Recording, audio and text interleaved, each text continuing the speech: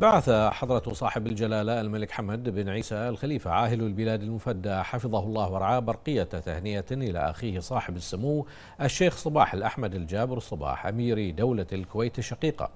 وذلك بمناسبة الذكرى السنوية للعيد الوطني للدولة الشقيقة عرب جلالته فيها عن خالص تهانيه وأطيب تمنياته لسموه بوافر الصحة والسعادة ولشعب دولة الكويت الشقيق المزيد من التقدم والازدهار في ظل قيادة سموه الحكيمة. وأشاد جلالة الملك أيده الله في برقيته بعمق ومتانة العلاقات الأخوية التاريخية الوثيقة والمتميزة التي تربط البلدين والشعبين الشقيقين وما تشهده من تطور وتقدم على كافة الأصعدة. وبعث صاحب السمو الملكي الأمير خليفة بن سلمان الخليفة رئيس الوزراء الموقر حفظه الله ورعاه برقية تهنئة إلى أخيه صاحب السمو الشيخ صباح الأحمد الجابر الصباح أمير دولة الكويت. وذلك بمناسبة الذكرى السنوية للعيد الوطني للدولة الشقيقة. ضمنها سموه خالص تهانيه وأطيب أمنياته لسمو أمير دولة الكويت بموفور الصحة والسعادة وللشعب الكويتي الشقيق دوام التقدم والرقي. مؤكدا سموه في برقيته ما متانة العلاقات الأخوية التاريخية الوطيدة القائمة بين البلدين والشعبين الشقيقين. وما وصلت إليه هذه العلاقات من تطور وازدهار في كافة المجالات. كما بعث صاحب السمو الملكي رئيس الوزراء الموقر حفظه الله ورعاه برقيتي تهنئة إلى كل من أخيه سمو الشيخ نواف الأحمد الجابر الصباح ولي العهد وأخيه سمو الشيخ جابر المبارك الحمد الصباح رئيس مجلس الوزراء مهنئا سموه فيهما بهذه المناسبة الوطنية. بعث صاحب السمو الملكي الأمير سلمان بن حمد آل خليفة ولي العهد نائب القائد الأعلى النائب الأول لرئيس مجلس الوزراء. حفظه الله ورعاه برقيه تهنئه إلى أخيه صاحب السمو الشيخ صباح الأحمد الجابر الصباح أمير دولة الكويت. عبر سمو فيهما فيها عن صادق تهانيه بمناسبة الذكرى السنوية للعيد الوطني للدولة الشقيقة.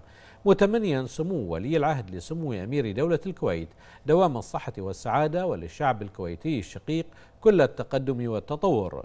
منوها سموه بما تشهده العلاقات البحرينية الكويتية من تقدم وازدهار على كافة المستويات. كما بعث صاحب السمو الملكي ولي العهد نائب القائد الأعلى النائب الأول لرئيس مجلس الوزراء. حفظه الله ورعاه برقيتي تهنئة إلى كل من أخيه سمو الشيخ نواف الأحمد الجابر الصباح ولي العهد وسمو الشيخ جابر المبارك الحمد الصباح رئيس مجلس الوزراء مهنئا سموه فيهما بهذه المناسبة الوطنية. ترتدي الكويت ثوب البهجة والفرحة في ذكرى العيد الوطني السادس والخمسين على الاستقلال والذكرى السادسة والعشرين على تحرير دولة الكويت. ومنذ فجر الاستقلال والكويت تسير بخطى حثيثة نحو النهضة والتنمية الشاملة. وتشارك البحرين قيادة وشعبا شقيقتها الكويت احتفالاتها المجيدة في تأكيد على عمق روابط الأخوة والتاريخ المشترك ووحدة المصير.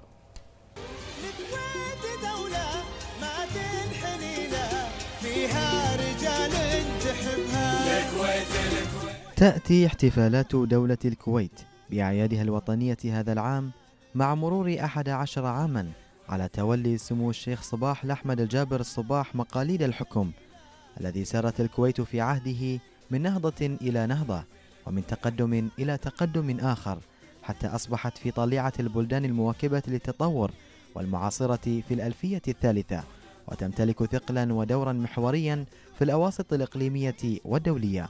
ها هي الكويت ترتدي ثوب البهجة والفرحة في ذكرى العيد الوطني السادس والأربعين على الاستقلال.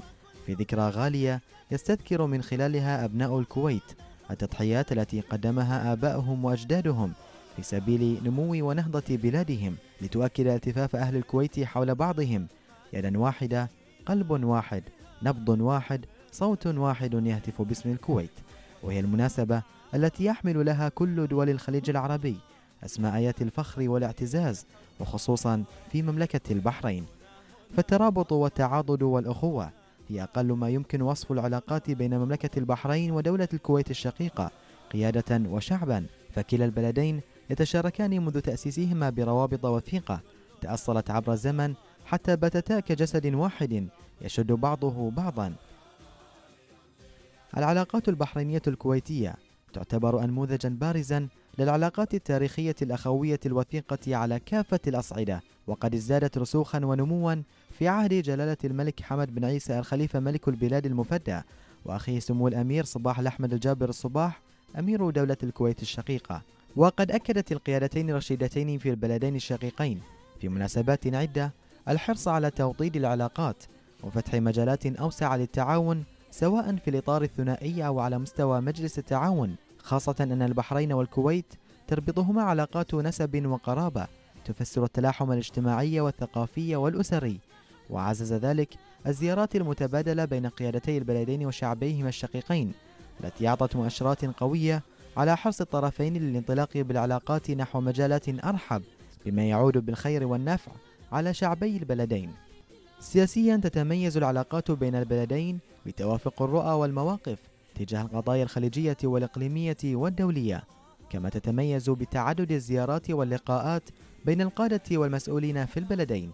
وقد انعكس عمق العلاقات السياسية بين البلدين إيجابا على علاقاتهما الاقتصادية في ظل وجود شراكة اقتصادية متينة تمثلت في اللجان المشتركة والاتفاقيات والتبادل التجاري والمالي حيث ارتفع حجم التبادل التجاري بين البحرين والكويت في عام 2017 إلى أكثر من أربعة أضعاف عن مستواه في عام 2011 كما يعد التعاون الأمني لبنة أساسية في صرح العلاقات البحرينية الكويتية تترجم الاهتمام المشترك بالتصدي لمختلف القضايا الأمنية وعمق الرؤية الاستراتيجية لدى البلدين وتأكيدا أن أمن البحرين والكويت أمن مشترك. وعلى المستوى الاجتماعي تتميز العلاقات بين البلدين بأنهما علاقات نسب وقرابة الأمر الذي يتمثل من خلال تشارك العادات والتقاليد والثقافة وإذ تحتفل الكويت بأعيادها الوطنية.